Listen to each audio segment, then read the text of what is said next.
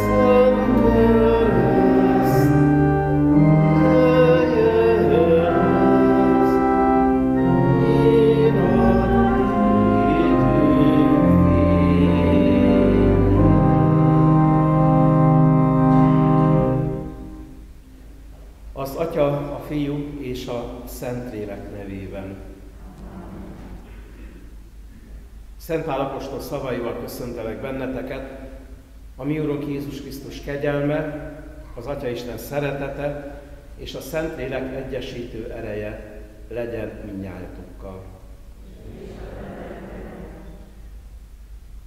Nagy szeretetben köszöntelek benneteket itt Döblingenben, ahol egyben szokásunkhoz híven a Szentmisét rögzítjük is, és Éppen ezért szeretetben köszöntöm mindazokat, akik az internet segítségével, akár egyházközségünk honlapján keresztül, Facebookos oldalán keresztül, avagy YouTube csatornákon keresztül e szentmisébe bekapcsolódnak.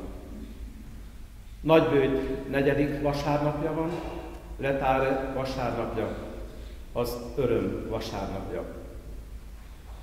A Szentmise kezdőéneke így hangzik, örvendez Isten népe, gyűjjetek össze mind, kiknek kedves az Úr ügye, szívből örüljetek, akik azelőtt szoborkodtatok, vigasztalódjatok, mint a gyermek megnyugszik, anyja keveri.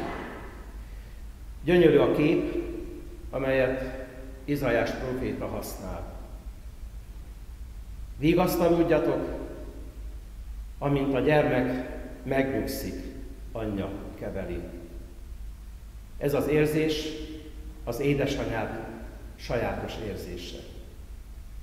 Amikor kicsi gyermekük nagyon nyugtalan.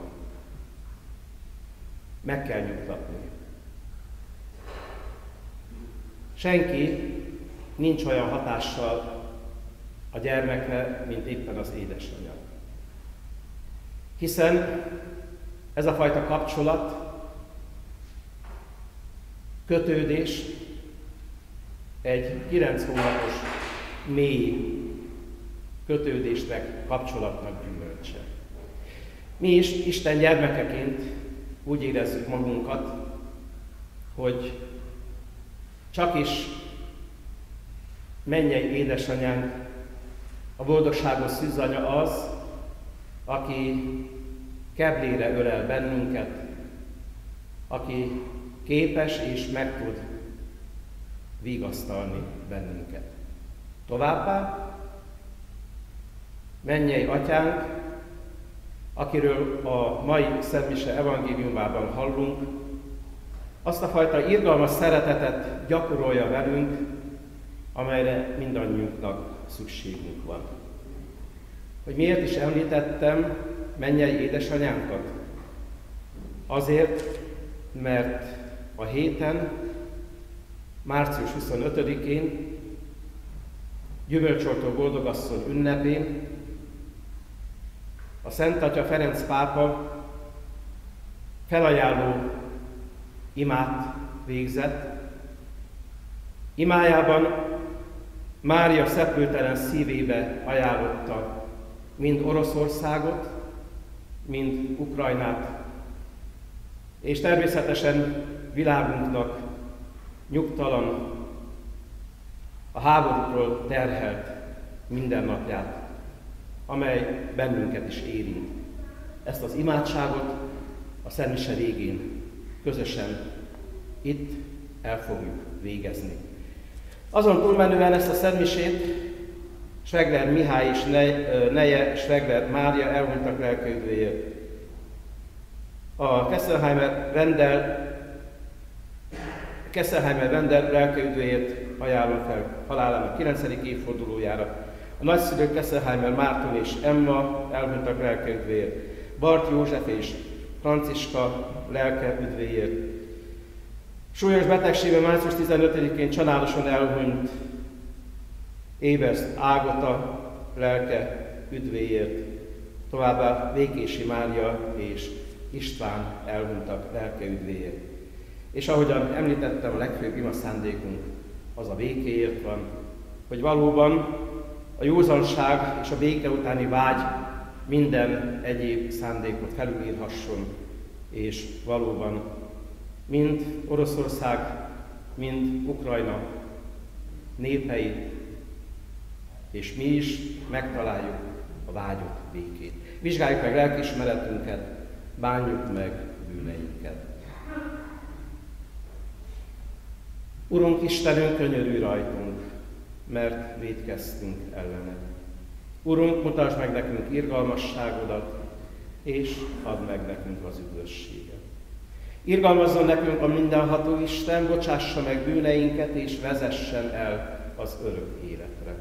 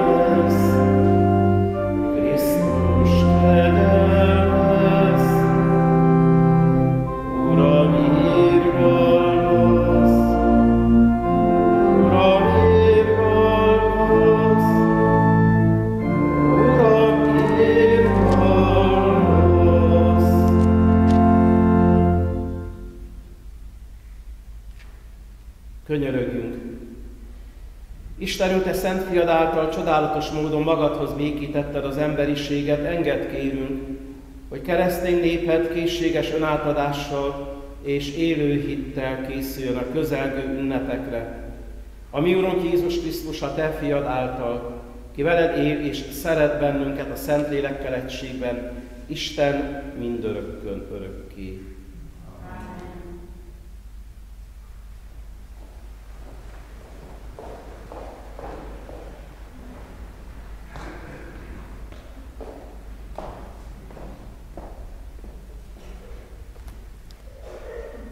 Olvasmány Józsua könyvéből.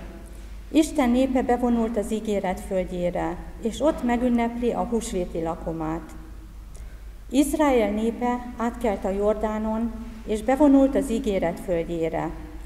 Ekkor az Úr így szólt Józsuéhoz. Ma levettem rólatok Egyiptom gyalázatát.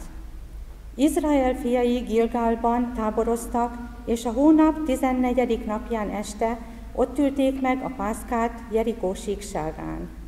Másnap már az ország terméséből ettek, és ková- ették a kovásztalan kenyeret és a pirított gabonát. Attól kezdve, hogy a föld terméséből ettek, megszűnt a manna, és ettől az évtől kezdve Kánaán földjének terményeivel táplálkoztak. Ez az Isten ígéje. Istennek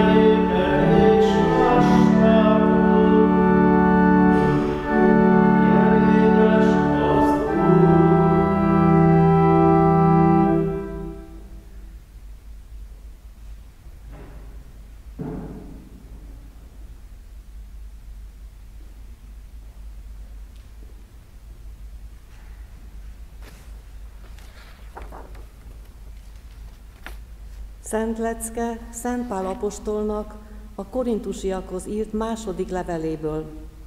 Testvéreim, mindenki, aki Krisztusban van, új teremtmény. A régi megszűnt, valami új valósult meg. De ezt Isten viszi végbe, akit Krisztus kiengesztelt irántunk, és aki megbízott minket a kiengesztelődés szolgálatával.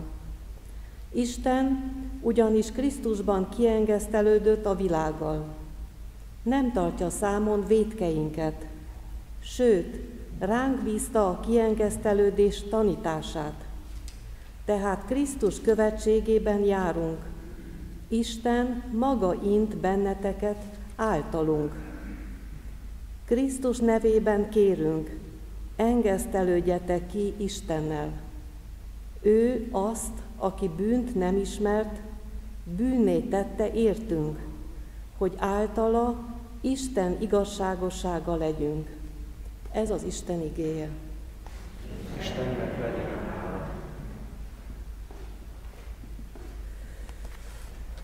Fölkelek és atyámhoz megyek, azt mondom néki, atyám, védkeztem az ég ellen és te ellened. Az Úr legyen veletek. Evangélium Szent Lukács könyvéből. Azokban a napokban vámosok és bűnösök jöttek Jézushoz, hogy hallgassák őt.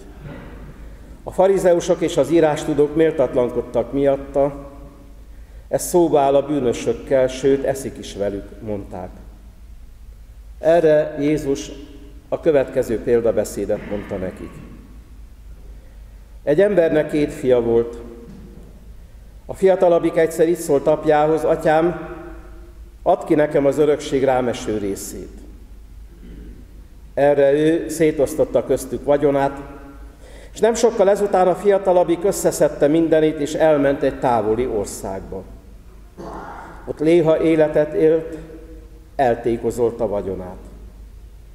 És amikor mindenét elpazarolta, az országban nagy éhínség támadt, és ő maga is nélkülözni kezdett. Erre elment és elszegődött egy ottani gazdához. Azt kiküldte a tanyájára, hogy őrizze a sertéseket, Szívesen megtöltötte volna a gyomrát a sertések eledelével, de még abból sem adtak neki. Ekkor magába szállt. Atyám házában hány napszámos bővelkedik kenyérben, mondta, én meg itt éhen halok. Fölkelek, atyámhoz megyek, és azt mondom neki, atyám, védkeztem az ég ellen és te ellened, arra már nem vagyok méltó, hogy fiadnak nevez, csak béreseid közé fogadj be. Azonnal útra is kelt, és visszatért atyához.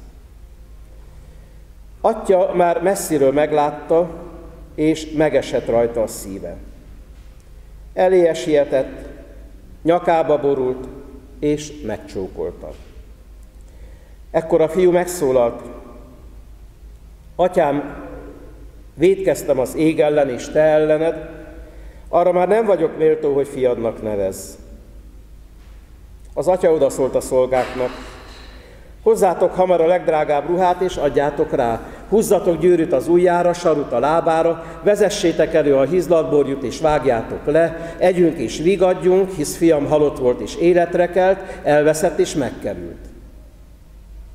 Erre vigadozni kezdtek. Az idősebbik fiú kint volt a mezőn, és amikor hazatérőben közeledett a házhoz, meghallotta a zeneszót és a táncot. Szólt az egyik szolgának, és megkérdezte, mi történt. Megjött az öcséd, és atyád levágatta a hizlalt borjut, mivel épségben visszakapta őt, felelte a szolga. Erre az idősebbik fiú megharagudott, és nem akart bemenni. Ezért atya kijött és kérlelni kezdte. De ő szemére vetette atyának, látod, én annyi éve szolgálok neked, és egyszer sem szektem meg parancsaidat. És te nekem még egy gödöjét sem adtál soha, hogy mulathassak egyet a barátaimmal. Most pedig, hogy ez a te fiad, aki vagyonodat rossz nőkre pazarolta, megjött, hizlatborjút vágtál le neki. És ő erre ezt mondta, fiam, te mindig itt vagy velem, mindenem a tiéd.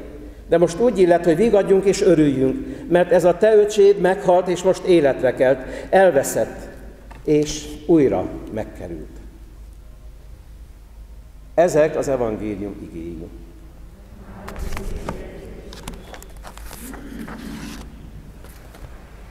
Foglaljunk helyet.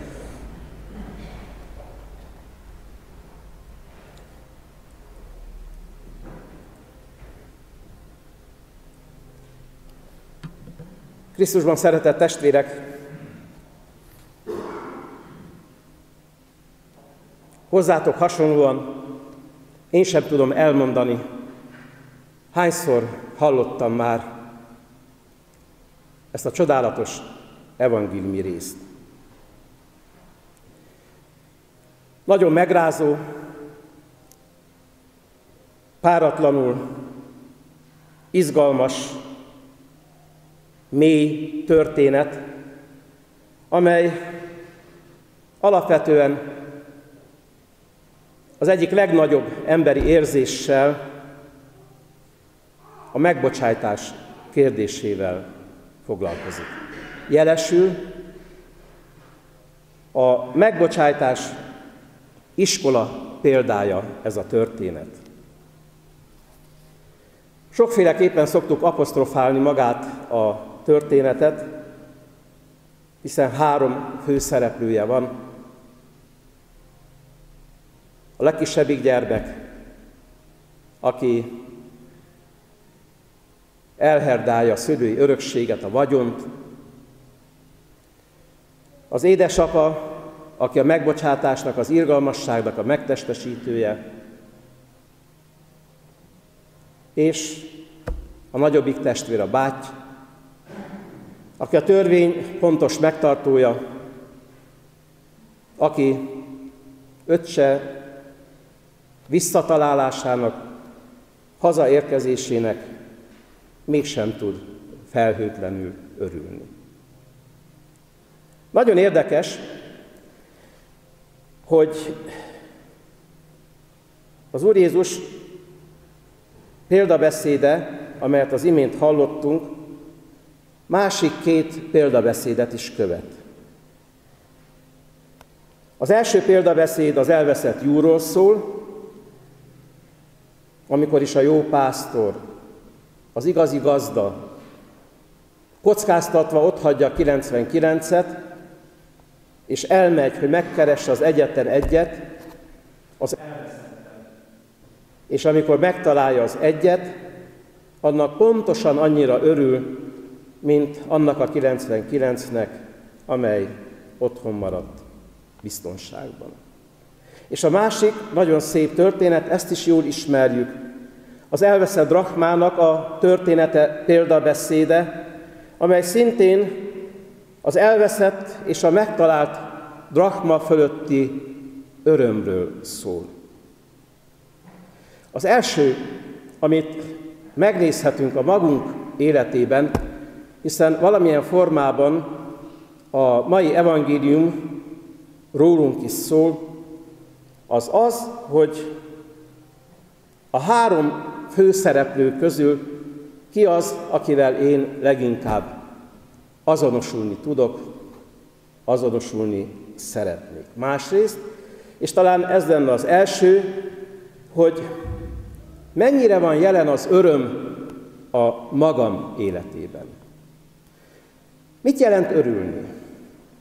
Az öröm egy megnyugtató és ugyanakkor egy felszabadító érzés. Egy olyan fajta belső érzés, amelyet amikor ha birtokoljuk, amikor részünk van benne, akkor szeretnénk azt állandósítani. Szeretnénk ezt az érzést megtartani magunkban, magunk számára. És természetesen ezt az érzést, hogyha már birtokoljuk, ha sikerült rátalálnunk, ha sikerül birtokolnunk, akkor természetünkből fakadóan ezt az érzést másokkal is szeretnénk megosztani. Az örömnek és a belőle fakadó békének, belső harmóniának, nyugodtságnak érzését. Az alapvető kérdés most az számomra elsőként, hogy tudok-e örülni. Persze, hogy tudok örülni. A kérdés csupán az, hogy minek tudok örülni. És itt jön az a fajta feladat, amelyet már mindenkinek saját magának kell elvégeznie, hogy egyáltalán a mai idők viszonyai közepette megtalálom-e életemben az örömnek a forrását, a belső örömnek a forrását. Mert csak is ez az érzés képes felszabadítani engem. Az örömöt mint érzést, mint tartós állapotot mindannyian keressük a magunk életében. Én erre gondolok elsőként, amikor az ifjú odaáll édesapja elé. Neki már túl szűk az az élet keret, amiben része van. Biztonságban van az élete.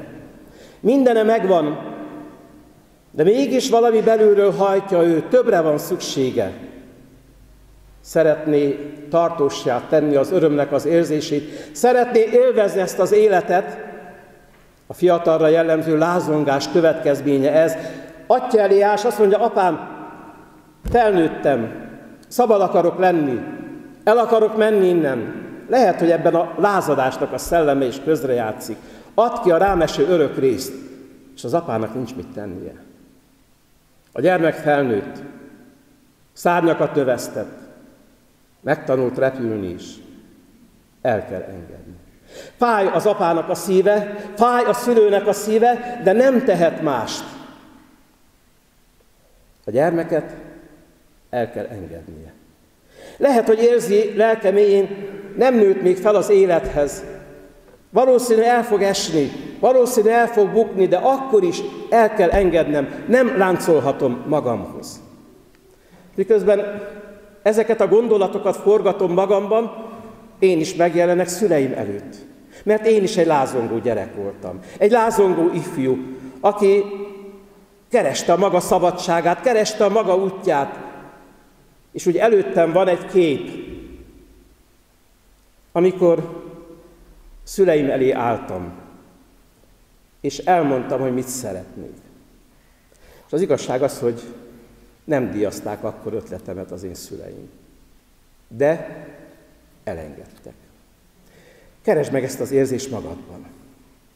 Milyen volt a te elindulásod egészen fiatalon, lázongóan, lázadozóan, és mennyire jó, hogy szüleid nem állták útját vágyaidnak, álmaidnak, terveidnek.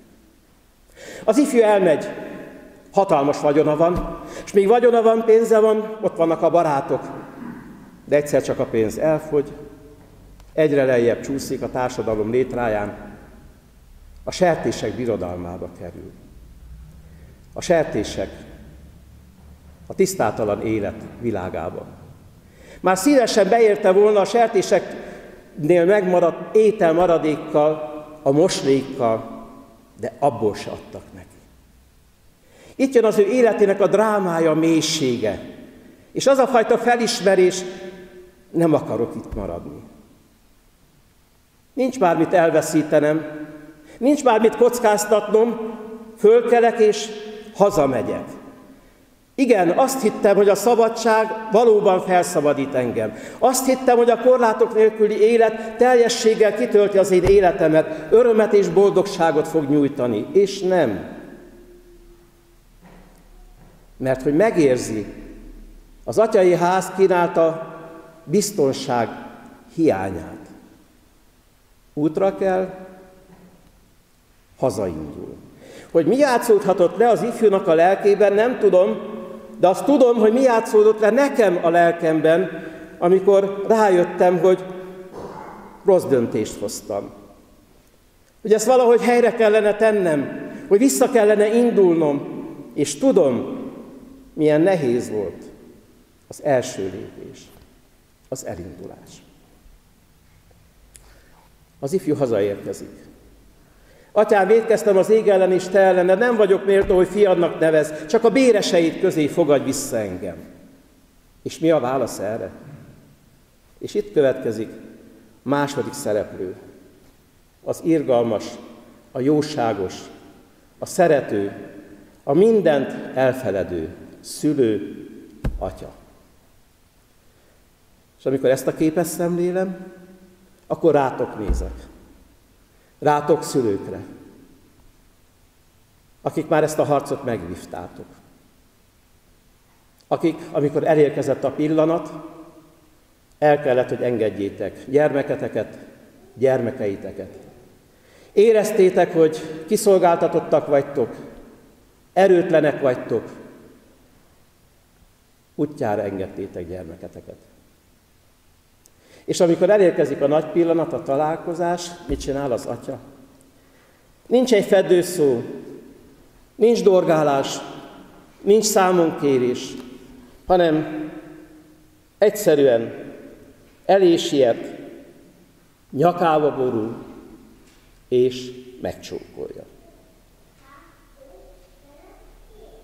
És amikor következik a fiúnak a bűn vallomása, hogy védkeztem, csak ennyit válaszol a szolgáknak, hozzátok hamar a legdrágább ruhát, adjátok rá, húzzatok gyűrűt az ujjára, sarut a lábára, vezessétek elő a hizlatborjot és vágjátok le, együnk és vigadjunk, hisz fiam halott volt és életre kelt, elveszett és megkerült.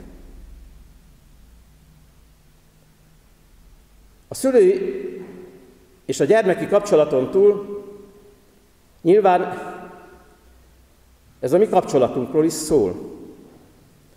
Az irgalmas atya és a megtéved gyermek, Isten gyermek kapcsolatáról, vagyis rólam. Hol történik ez a fajta kiengesztelődés, megbékélés, újjászületés? Egyházunk tanításában, a kiengesztelődés szentségében, a bűnbocsánat, a bűnbánat szentségében, vagyis a szentgyónásban. Az úgy nem megy, hogy kimegyek az erdőbe, és kikiáltom a bűneimet. Az ember önmagát nem tudja feloldozni. Igen, meg kell bocsájtanom magamnak, de ehhez szükség van a felemelő, az irgalmas szeretetre. És mi katolikusok éppen ezért nagyon hálásak vagyunk.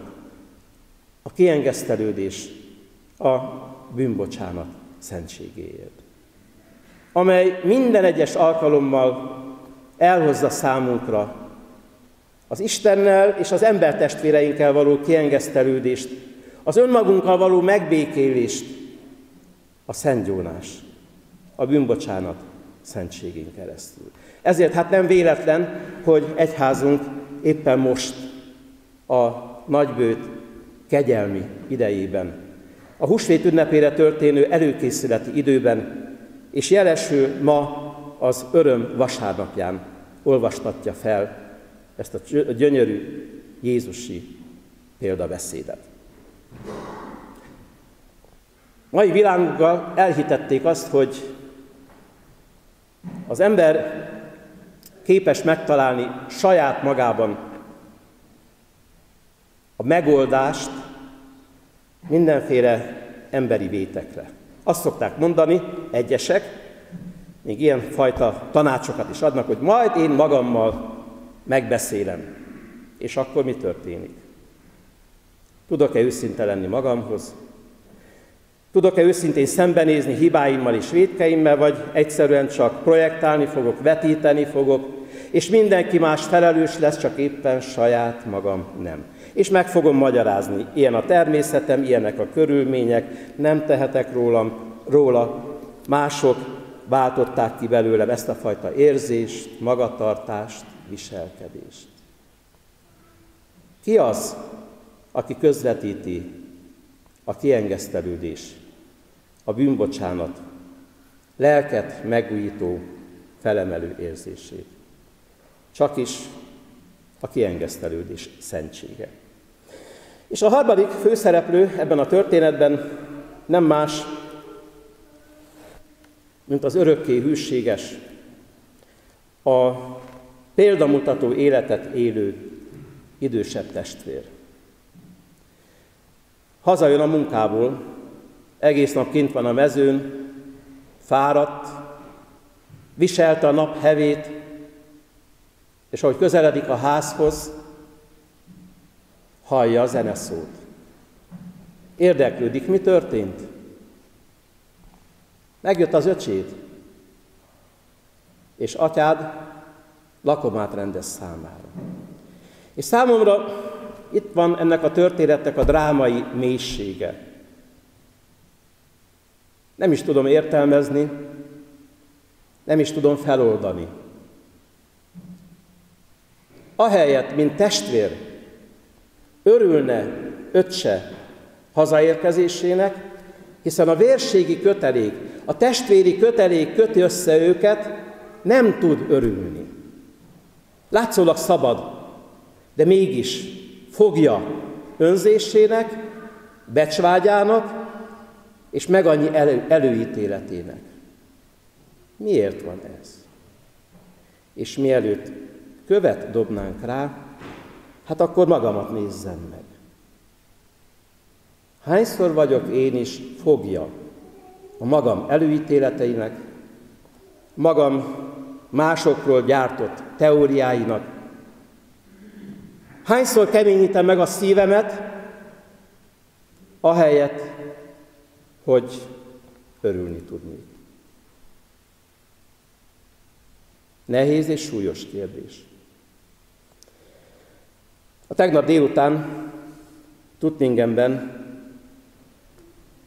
végre ismételten, még nem is a közösségi teremben, de egy kis vendéglőben leülhettünk és beszélgethettünk. Ott voltunk Erdélyből, délvidékről, Vajdaságból, az anyaországból.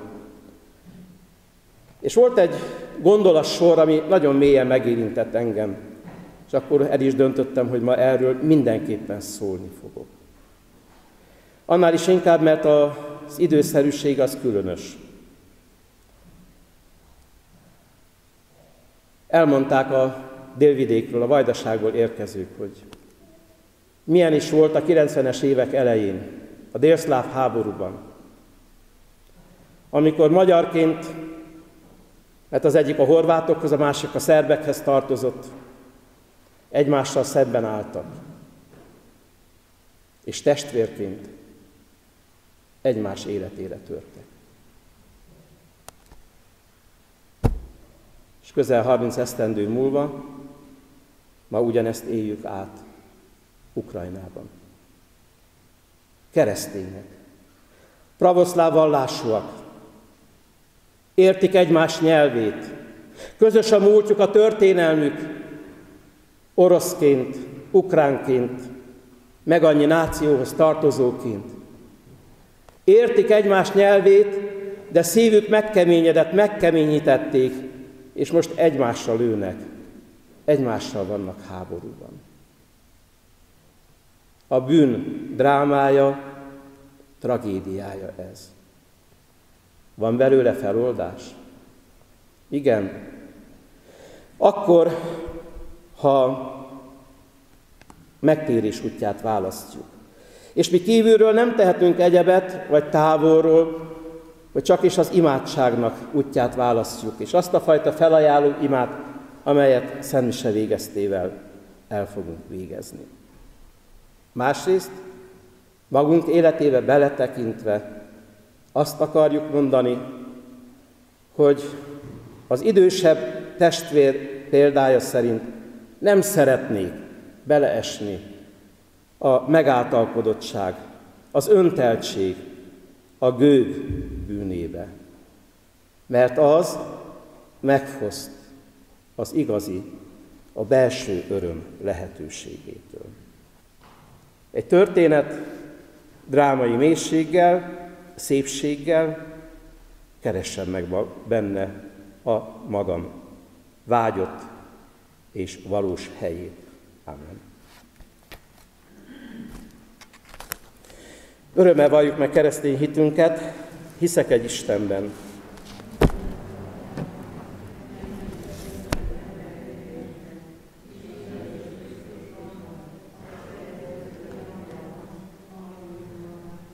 Aki fogantatott Szentlélektől, született Szűz Máriától, szenvedett Poncius Pilátus alatt.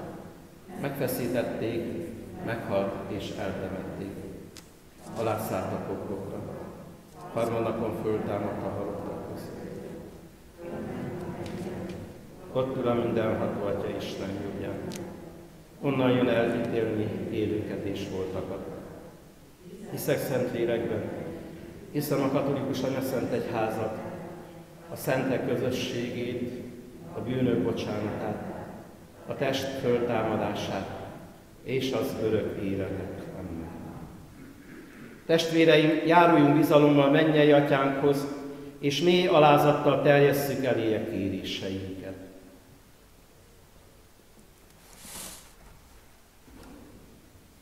Ad, Urunk, hogy mindig boldogan siessünk a testvéri lakomára, amelyet a Szent Misében készítesz számunkra. Kérünk téged, hallgass meg minket. Add, hogy különvált keresztény testvéreinkkel együtt örvendhessünk a közös otthon szent asztalánál. Adj kenyeret az éhezőknek, és munka lehetőséget a rászorulóknak. Kérünk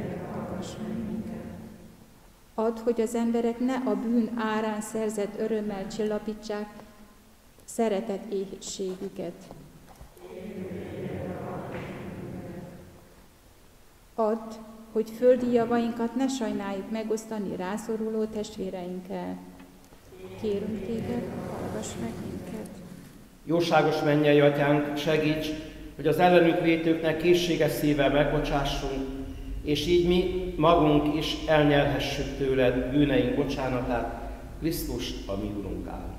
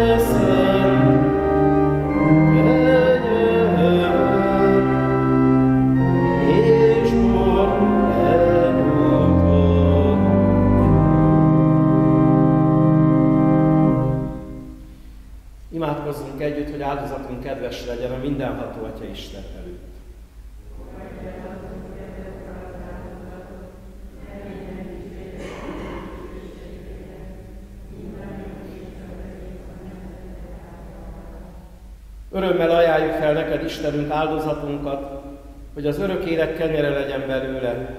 Kérve kérünk, segíts minket, hogy hívő tisztelettel vegyük körül, és méltóképpen mutassuk be a világ üdvösségére, Krisztus a mi Úrunk által. Az Úr legyen veletek! Emeljük föl szívünket, Adjunk hálát Urunknak, Istenünknek. Valóban méltó és igazságos, idő és üdvös, hogy mindig és mindenütt hálát adjunk neked. Mi, Urunk, szentséges Atyánk, mindenható örök Isten, Te gyermekeid lelki tisztulására üdvös időt rendeltél, hogy szabaddá váljanak minden bűnös vágytól, és úgy használják a mulandó javakat, hogy többre tartsák az örök élet kincseit. Mi ezért a szentekkel is minden angyallal együtt dicsőítünk téged, és egy szívvel zengünk.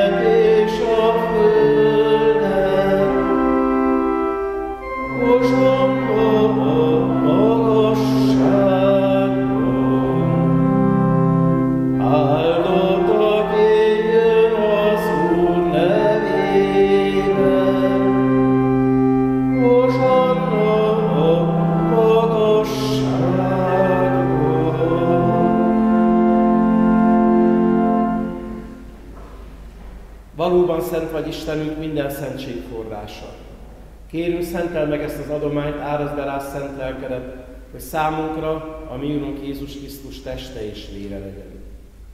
Ő mielőtt önként átadta magát a szenvedésre, kezébe vette a kenyeret, hálát adott, megtörte, tanítványainak adta és így szólt. Vegyétek és egyetek ebből minnyájan, mert ez az én testem, mely értetek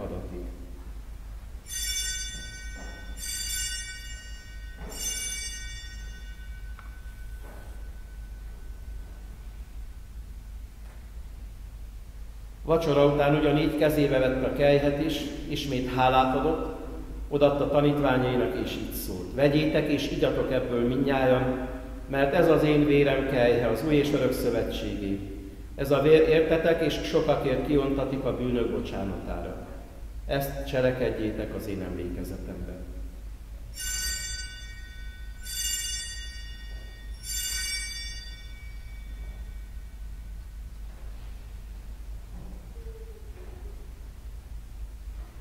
Íme hitünk szent titka.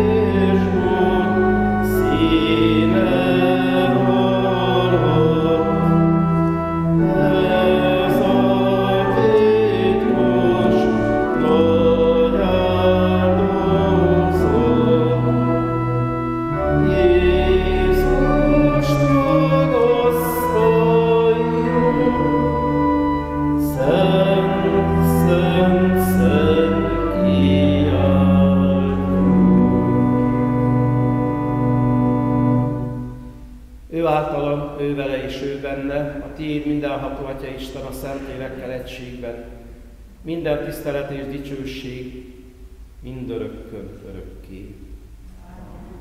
Ha Isten atyánknak hívjuk, testvéri szeretettel bocsássunk meg egymásnak, és akkor így imádkozhatunk.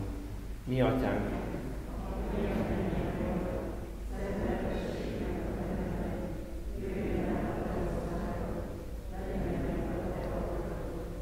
Amint a mennyben, úgy a földön is. Mindennapi kenyerünket add meg nekünk ma, és bocsáss meg védkeinket, miképpen mi is megbocsájtunk az ellenünk védkezőknek, és ne vigy minket kísértésbe, de szabadíts meg a gonosztól. Szabadíts meg, kérünk, Urunk, minden gonosztól, adj kegyesen békét napjainkban, hogy irgalmadból mindenkor bűn és baj nélkül míg reménykedve várjuk az örök boldogságot, és üdvözítőnk Jézus Krisztus dicsőséges eljöttét.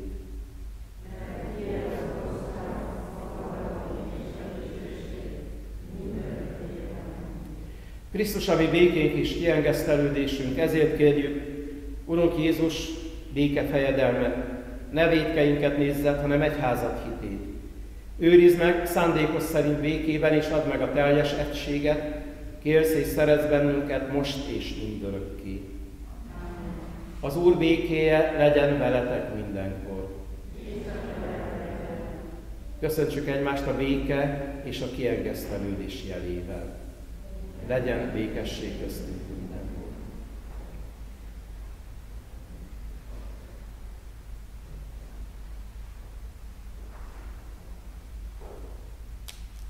Mm.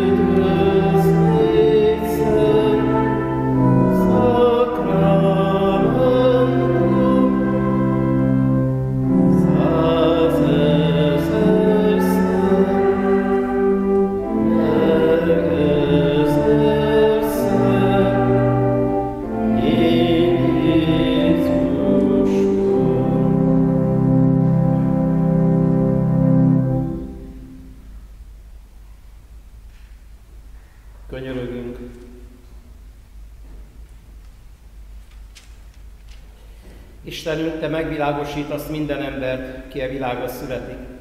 Kérünk, ragyogja be szívünket kegyelmet fénye, hogy mindig úgy gondolkodjunk, ahogy hozzád méltó, fölségednek kedves, és őszintén szeressünk téged, Krisztus, a mi Úrunk által. És ahogyan már jeleztem elsőként, Ferenc pápa felajánló imáját fogjuk elvégezni, Szűz Mária szepültelen szívének.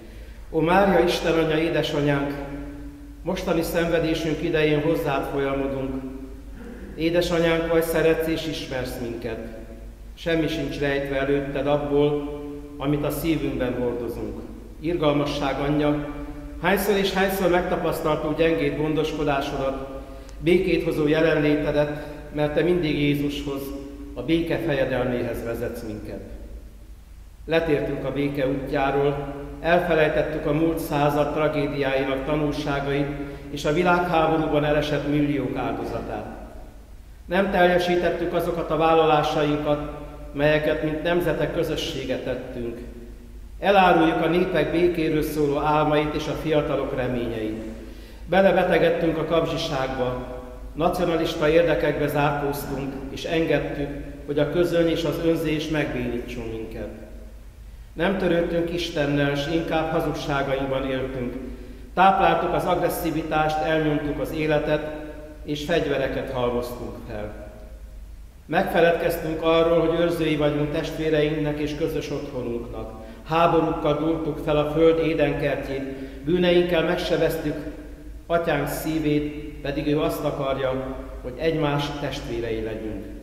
Magunkat kivéve minden és mindenki iránt közömbössé váltunk, szégyenkezve mondjuk, bocsáss meg nekünk, Urunk.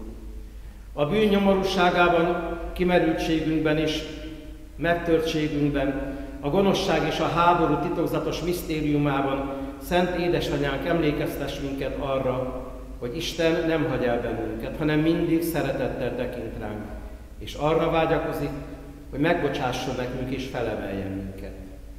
Ő magadott téged nekünk, a szeplőtelen szívedben menedéket nyújtott az egyház és az egész emberiség számára.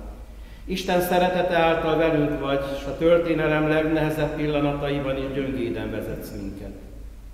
Ezért mi, a te szeretett gyermekeit hozzád jövünk, és szíved ajtaján zörgetünk, hiszen te minden időben fáradhatatlanul keresel, a meg és megtérésre hívsz minket. Ebben a sötét órában jöjj, segíts és vigasztalj minket. Fordulj mindannyiunkhoz újra és újra. Hát nem én vagyok itt, a te édesanyád.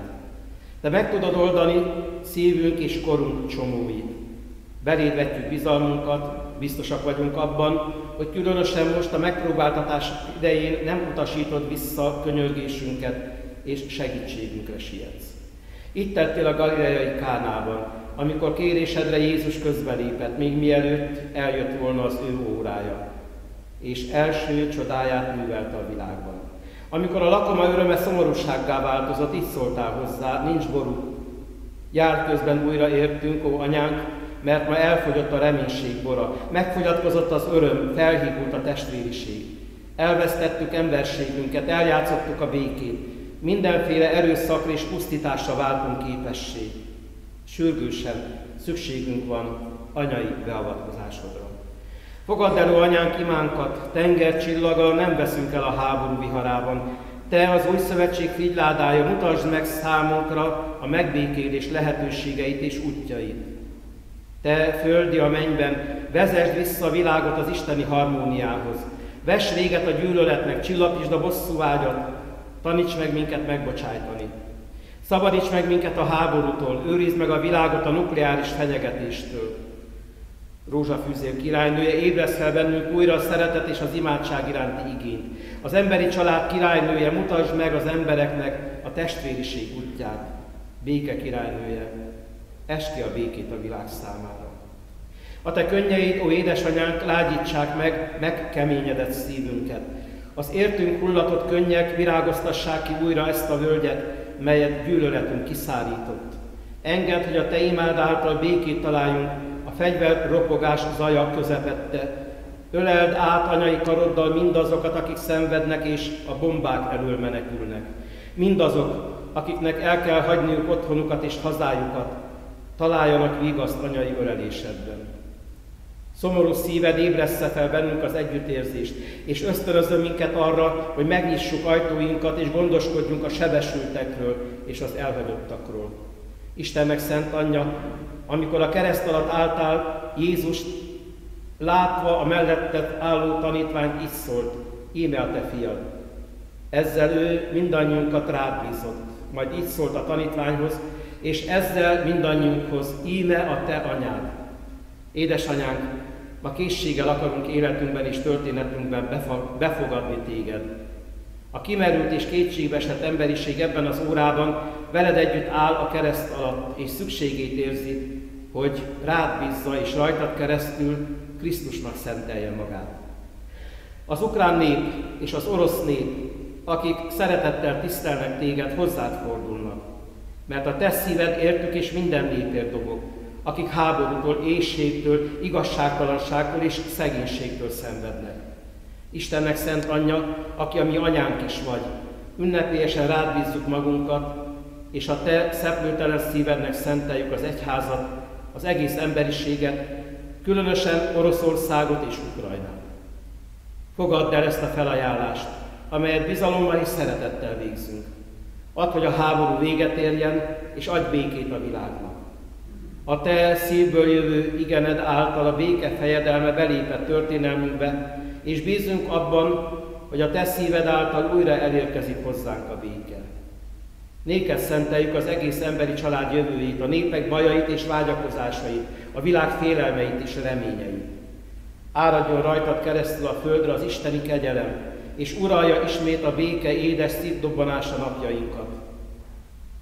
Igennek asszonya, akire leszállt a Szentlélek, segíts, hogy újra együtt lehessünk Isten békéjében. Ors szívünk szomját, te a remény áradó forrása. Te szőtted bele az emberiséget Jézusban, így alakíts minket is a közösség formálóivá.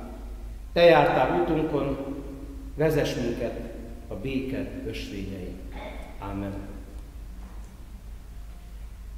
Szentmise legközelebb itt Böblingenben, április 24-én, az Isten írgalmasság vasárnapján, Husvét vasárnapját követő vasárnapon lesz. Jó hír, hogy most a Szentmise végeztével közösségi teremben visszavonulhatunk, együtt lehetünk még szeretettel hívunk és várunk benneteket. Minden más egyéb információt majd az egyházközségünk honlapján megtaláltok. Kérlek is benneteket, hogy figyeljétek. Ugye lelkipásztori előírás, hogy a Szent Háromnap liturgiáját egy helyen végezzük, természetesen Stuttgartban kapnak helyet Szent Háromnap liturgikus eseményei, nagy csütörtökön, nagypénteken, nagy szombaton, és aztán Husvét vasárnapján is, illetve Husvét hétfőjén. Mindenkinek áldott kegyelmi készületet kívánok. Fogadjátok az áldást. Az Úr legyen veletek! Isten az irgalmasság atya, aki egyszülött fiának kínszenvedésével példát adott a szeretetre, adja meg nektek, hogy Isten és az emberek szolgálata által elnyerjétek áldásának mérhetetlen ajándékát. Amen. Adja meg nektek a boldogság örök életét, miután földi halálával megmentett az örök haláltól, amint ezt hittel valljuk. Ámen. Kövessétek az ő alázatosságának példáját, hogy vele együtt eljussatok a feltámadás dicsőségére. Ámen. Áldjon meg benneteket a mindenható Isten, az Atya, a Fiú és a Szentlélek. A Szentmise véget ért, éljünk békében. Thank you.